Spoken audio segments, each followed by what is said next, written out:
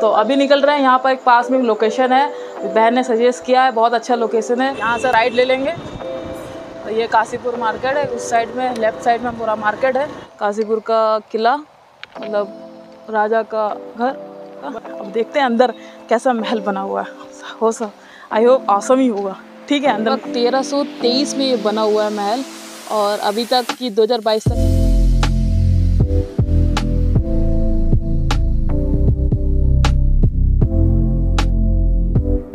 लहरें जैसे समुद्र में आती है, वैसे इस डैम में भी लहरें आ रही क्योंकि हवा बहुत औसम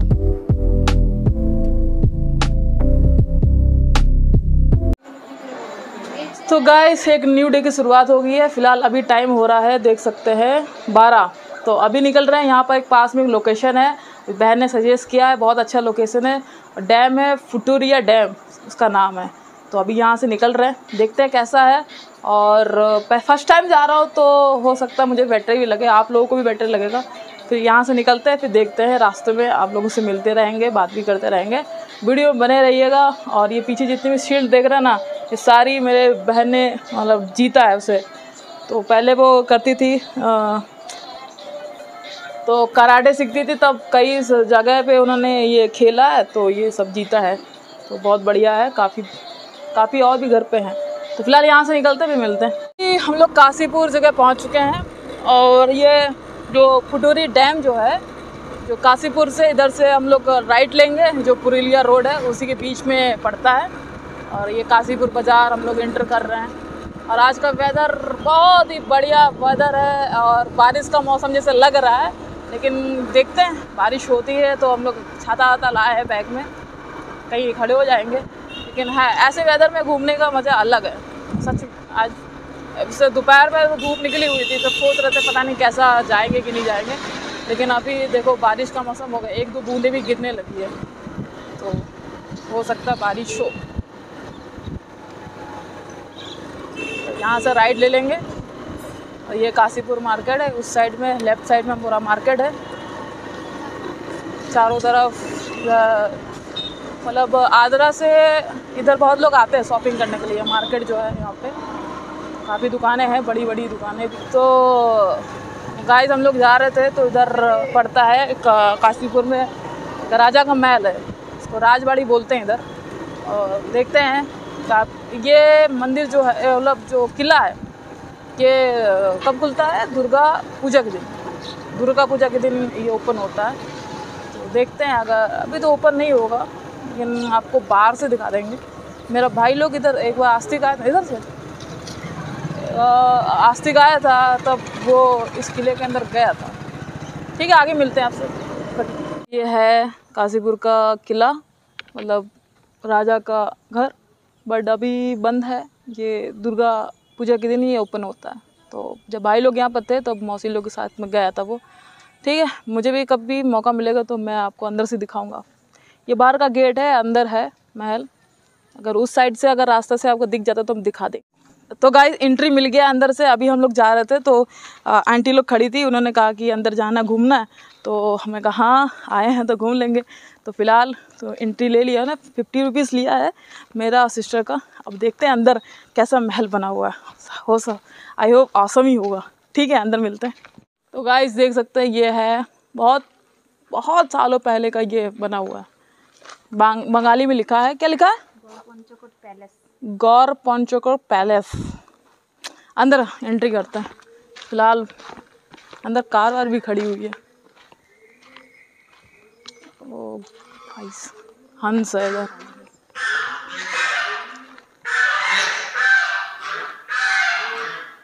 ये राजहंस इधर बोलते हैं। इधर कॉलेज मतलब पहले हॉस्टल वगैरह था। इस साइड में एक मंदिर भी है, एक कुआँ है। तो गाइस ये देख सकते हैं, बहुत ही ज़्यादा औसम पहली से बस काफ़ी पुराना है। अब कितना पुराना है, ये अभी पता नहीं है, शायद इस बोर्ड पे लिखा होगा। बंगाली में लिखा है, देखते हैं। बता देंगे आपको कितना पुराना है। तो गाइस अंदर आ चुके हैं, यहाँ पीछे देख सकते हैं, ये मंदिर है, जो दुर्गा पूजा के दिन ओपन होता है। अभी यहाँ पर सन्नाटा कोई भी मुझे मतलब किस्मत मेरा बहुत बढ़िया है कि इस समय क्लाउड बिल्कुल भी नहीं है, लोग भी नहीं है। मैं ब्लॉग करने अकेले यहाँ पर कर पा रहा हूँ। लेकिन दुर्गा पूजा के दिन मतलब इधर जब भीड़ होती ना, पैर रखने की भी जगह नहीं होती, इतनी भीड़ होती है।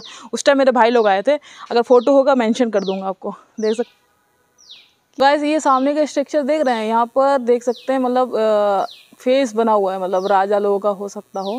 बिल्कुल इस बिल्कुल साफ़ क्लियर फेस बना हुआ है। स्ट्रक्चर भी बहुत ज़्यादा औसम है। काफ़ी पुराना।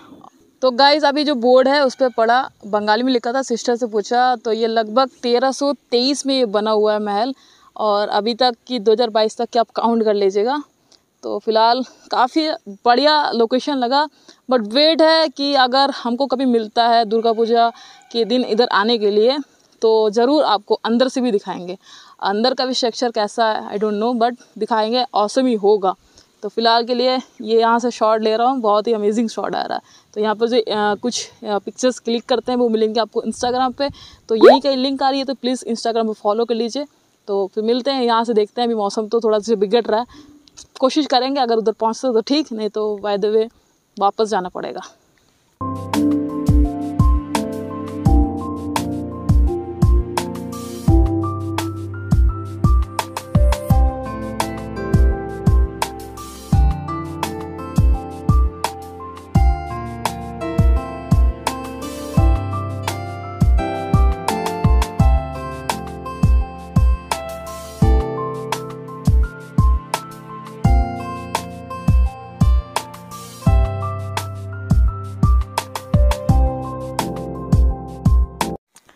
तो गाइज़ अभी एक और फैक्ट पता चला है इस महल के बारे में। अभी बाहर निकल रहे थे, एक आंटी मिली। उन्होंने बताया कि इस राजा का जो ससुराल है, वो लखनऊ है। मतलब हम बहुत प्राउड कर रहे हैं कि इस महल में आए और पता चल रहा है कि इसका ससुराल, इस राजा के ससुराल जो है, वो लखनऊ है। तो राजा का नाम जानो? ओ ठीक है, राजा का नाम अभी पता नहीं गूगल पे मुझे देखना पड़ेगा तो बता देंगे आपको।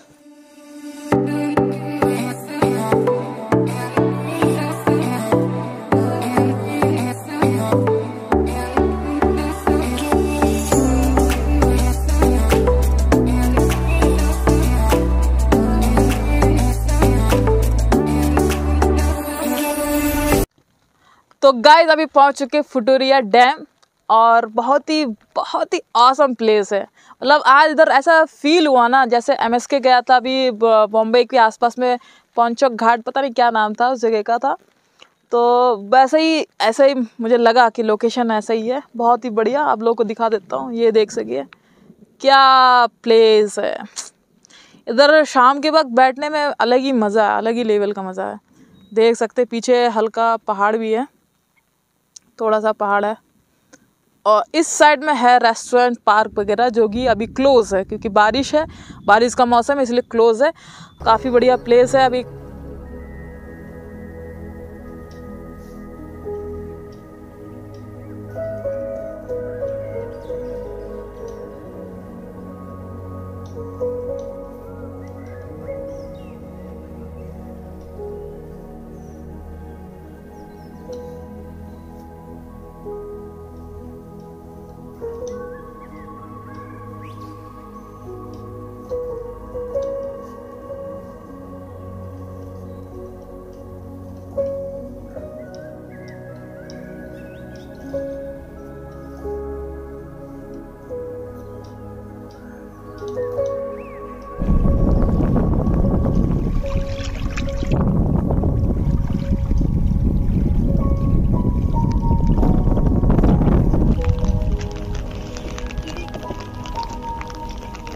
नीचे चलते हैं देखते हैं, पानी की छूके, ठंडा है कि गर्म। फ़िलहाल इस पत्थरों पे चलने का टास्क बहुत मतलब हार्ड वर्क है। आराम से आना बहन, नहीं तो गिरोगी मतलब ब्लॉगिंग के लिए अपनी बहन को भी मतलब तकलीफ़ में डाल दिया है।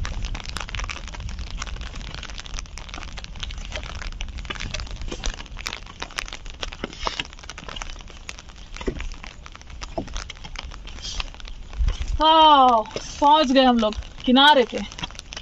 डैम पानी कैसा है? गरम है। पानी गरम है। क्योंकि तो बारिश हुई ना, इस वजह से पानी गरम है। ठंडा नहीं है।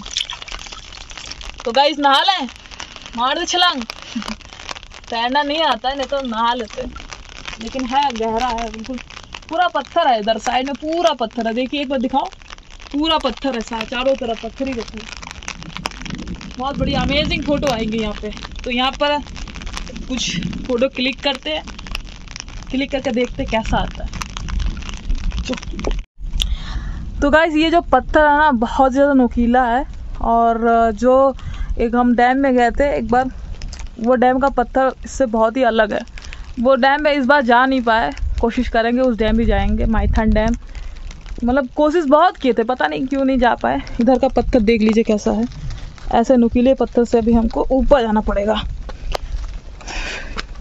तो थोड़ा बहुत एक्सपीरियंस है ऐसे ऐसे रास्तों पे चलने के लिए।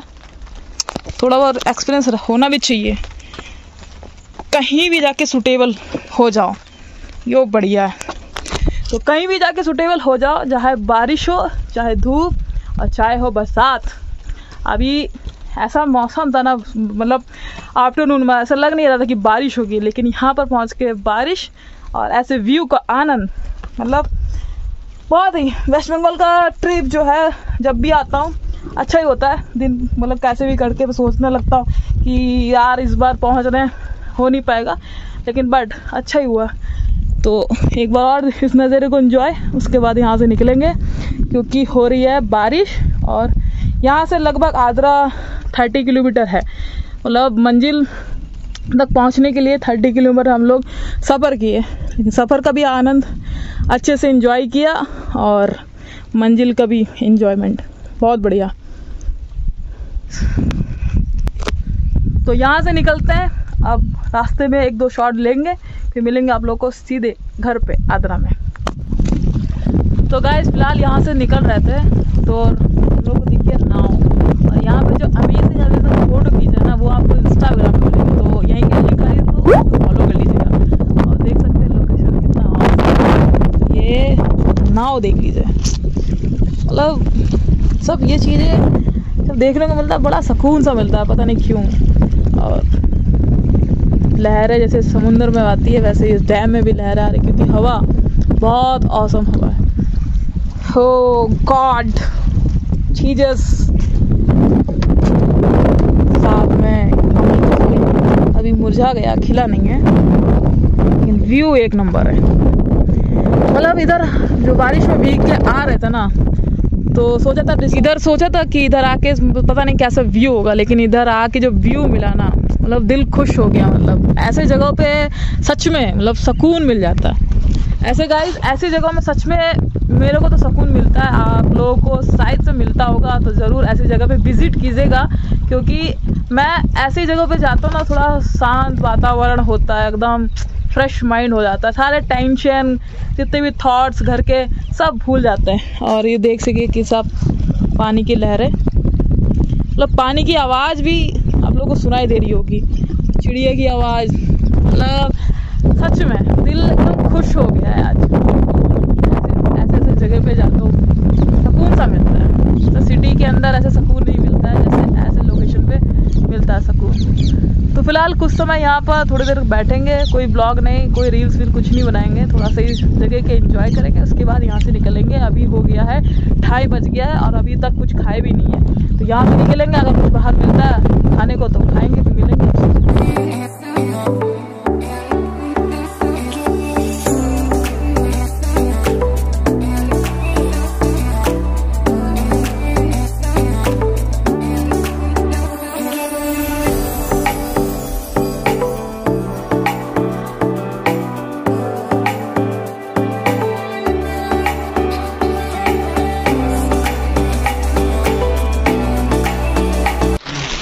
होगा, इधर हो रही है बहुत तेज बारिश।